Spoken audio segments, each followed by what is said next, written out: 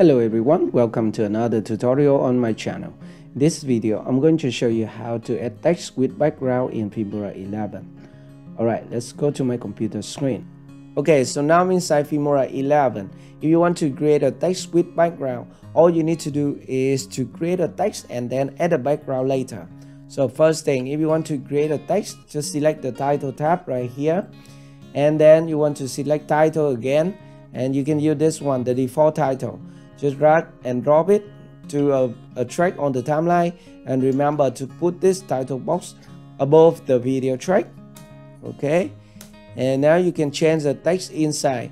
Just double click at the title box and then change it to something like lovely ship. And you can also select a preset for it. For example you can select word art and then select this one and the next thing you want to select an animation effect for your text. Just select the animation tab right here and then select any animation effect you want. Maybe I can select this one the typewriter. Okay. And then you can click OK. And the next thing you want to put a background under the text box right here. To add a background all you need to do is to go to media and then select sample color so there are many sample color here you can use as a background. But for me I can use this one the black one. Just drag and drop it under the text box right here. And the next thing you want to resize the sample color.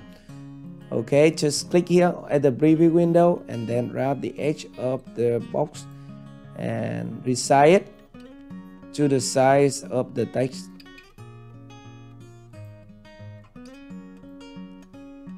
Something like this and now you have a text with a background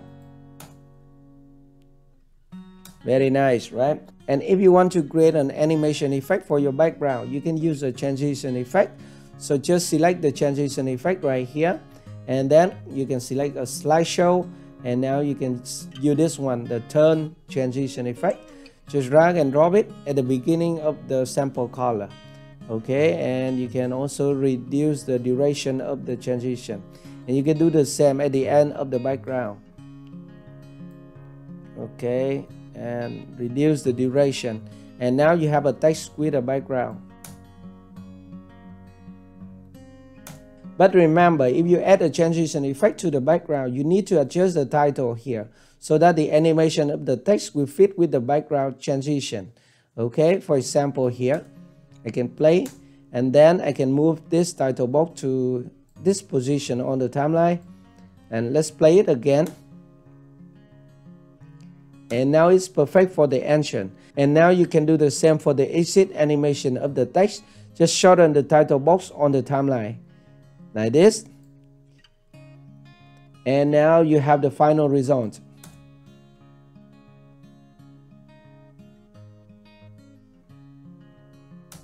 Alright, so that is how to add text with background in Filmora 11. I hope this tutorial is helpful for you. Thank you very much for watching and I will see you in my next video. Bye.